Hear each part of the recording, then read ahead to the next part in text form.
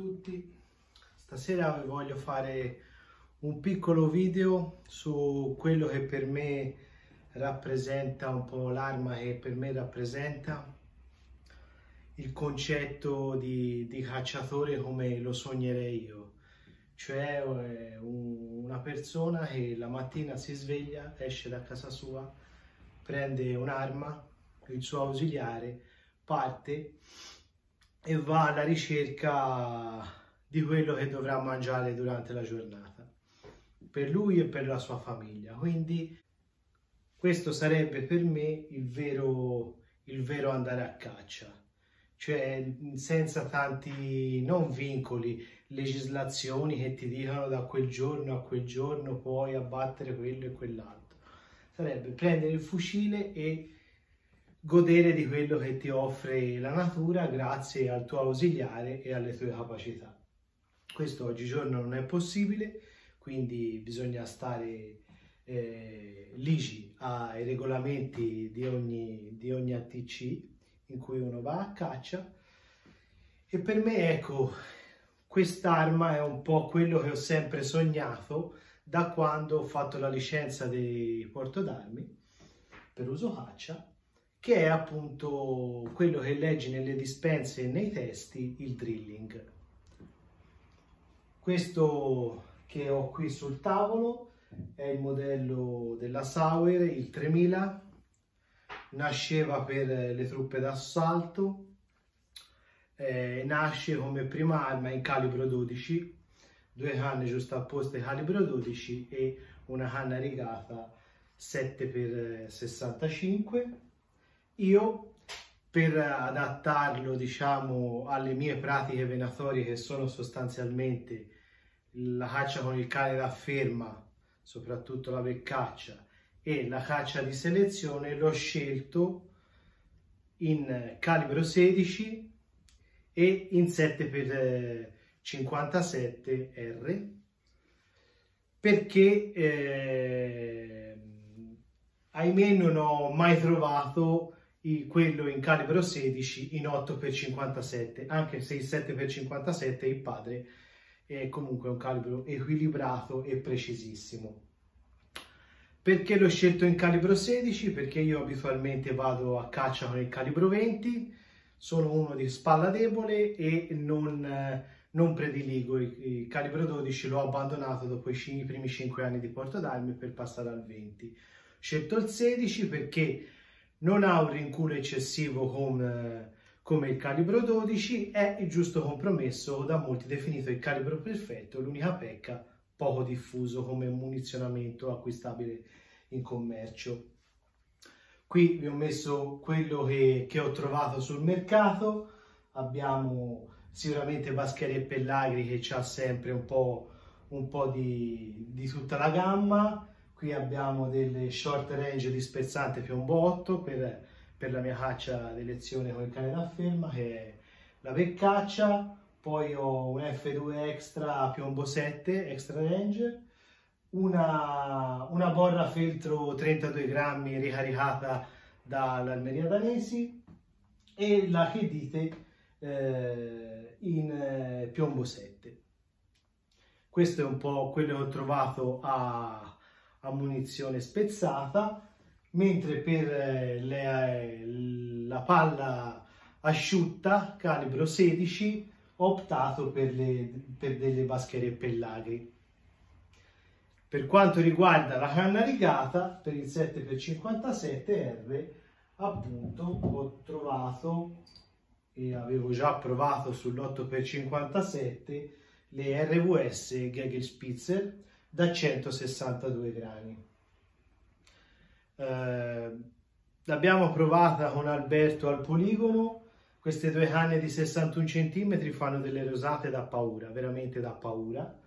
Eh, acciaio Schuller di Sauer e, e la canna rigata l'ho attualmente l'ho provata soltanto con la tacca di mira a 66 metri e ha fatto un foro dentro l'altro che siamo rimasti veramente stupiti, sia io che Alberto.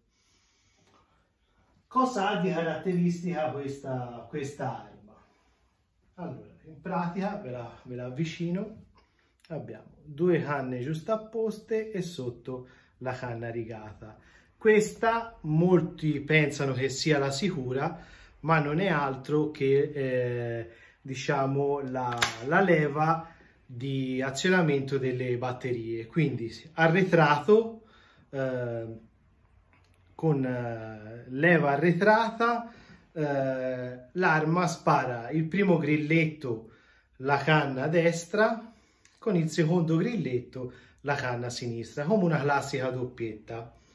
Se invece io voglio eh, sparare con la canna rigata vado a eh, avanzare la levetta si alza la tacca di mira ok? E con il primo grilletto sparerò la, la canna rigata. La posso sparare con scatto diretto che è regolabile attraverso la sua vite scusate da quest'altra parte ok? La vedete meglio così ok? Qui la sua vite.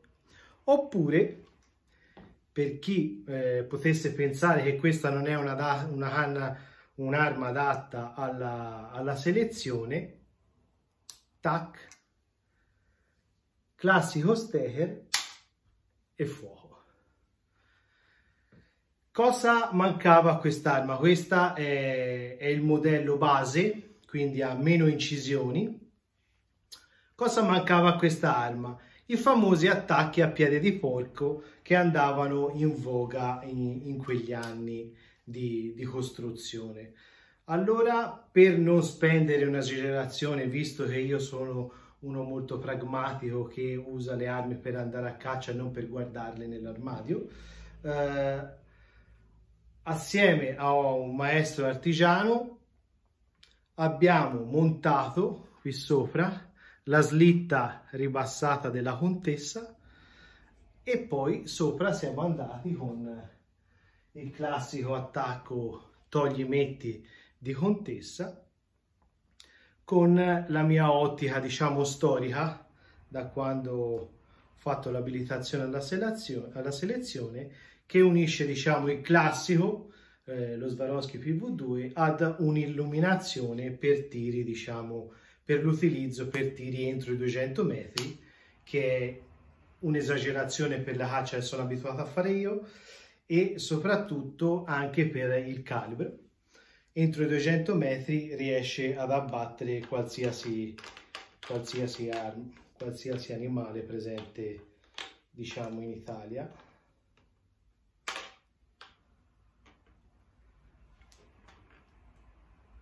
Scusate l'emozione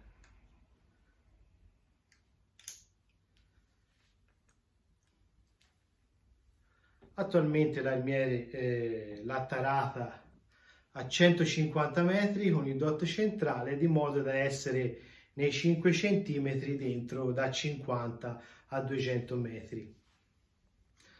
Naturalmente quest'ottica ha la possibilità di essere illuminata e di modificare l'intensità.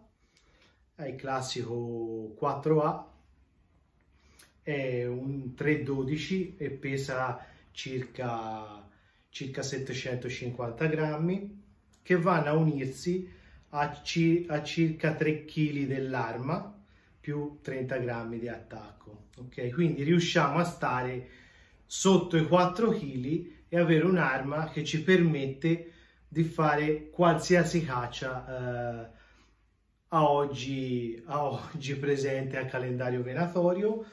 Abbiamo notato con Alberto che le due canne giustapposte, mentre la canna destra fa delle rosate perfette con, eh, con l'attacca di mira e mirino, la canna sinistra è bassa 3 cm a 50 metri e eh, 4 cm a sinistra. Non dovendola io usare per eh, andare eh, a caccia imbattuta. Sinceramente le, le munizioni intere a palla asciutta le ho acquistate solo per una questione di denuncia se un giorno mi verrà voglia di usarla anche per quella caccia eh, anche perché c'è una canna rigata se voglio fare la selezione la faccio con quella. Se invece voglio andare col mio ausiliare a caccia, tolgo ottica, metto due, due cartucce, una dispersante e un, un piombo 7 come seconda possibilità e, e me ne vado a caccia. Ora casomai vi faccio un paio di foto dettagliate, cosa che non vi ho detto, visto che in Sauer avevano pensato a tutto. Eh, questi, questi cursori in ottone sono gli indicatori di eh, canna armata. Ok, questo indica la canna rigata, il destro, mentre i due, il destro la canna destra liscia e il sinistro la canna liscia. Quindi tutte le volte che sparate una, una canna, uno di questi cursori che indica la rispettiva canna si abbassa. Se invece è su vuol dire che l'arma la, è pronta a fare fuoco. La sicura è in questa posizione, ok? Giù è insicura, su spara. Ok? Questo è un po' eh, l'arma come si presenta con le sue finiture. La faccio vedere un po' tutta. E poi la, la classica, diciamo, visione del drilling con due canne lisce e la canna rigata eh, sottostante. Questa è un po' la, la rassegna. Poi eh, lo smontaggio è come un, una classica doppietta o giusta apposta. È veramente in calibro 16 brandeggiabile, ne avevo trovata una anche in calibro 12, 7x65, eh, molto più, diciamo, calibri molto più in voga e dove si trova munizionamento commerciale eh, di, la, di, gran lunga superiore al calibro 7x57 e al calibro 16 però eh, era già un'arma che partiva dai 3,5 kg e a mio avviso per le cacce che faccio io era un'arma eccessivamente pesante se fossi andato a, a montare anche un'ottica con una campana perlomeno di 50. È vero che in un'arma come questa sarebbe più indicato un, uh, un 3,9 per 42 o 44, eh, molto più leggera e compatta, però siccome io caccio in Toscana e l'80% dei tiri si fanno nella prima e nell'ultima mezz'ora, uh, ho preferito avere una campana perlomeno di 50 illuminata perché io sono un amante dell'ottica dell illuminata eh, pregi e difetti se secondo me se l'illuminazione eh, non dà fastidio cioè ha un, un, un dot eh, non, non abbagliante sicuramente per me da preferire per, per la caccia al crepuscolo. Troppo più intuitiva, troppo più facile. Naturalmente eh, per la caccia che faccio io, io non sparo oltre 200 metri, anzi non sparo oltre 150, quindi per me è il giusto compromesso. Sono felicissimo dell'arma, l'ho sempre sognata, ora ce l'ho, e quindi prossimamente la porterò a caccia perché non vedo l'ora, non vedo l'ora di, di, andare a caccia. Eh, il mio compagno di caccia, Beccace, mi ha già iniziato a dire non t'azzardare a padellare. Due o tre beccacce a fila eh, come tu hai fatto anni passati, visto che con eh, effettivamente con eh, il mio comfort in calibro 20 eh, quest'anno nonostante ci sia pochissimo per ora ho fatto, ho fatto il massimo che potevo quindi di qui in avanti mi sciuperò sicuramente. Eh, questa è un po' la, la rassegna su, sulla, sulla Sauer che dire eh, a mio avviso è, è, proprio quello che ho sempre, ho sempre cercato diciamo nel mio sogno venatorio quello di partire eh, con l'arma e andare a vedere quello che offre la natura. Non vedete la cinghia perché un amico, il Maurizio Ciao, me, me l'ha riportata pochi giorni fa e è ancora diciamo nella custodia, classica custodia vintage diciamo in cuoio.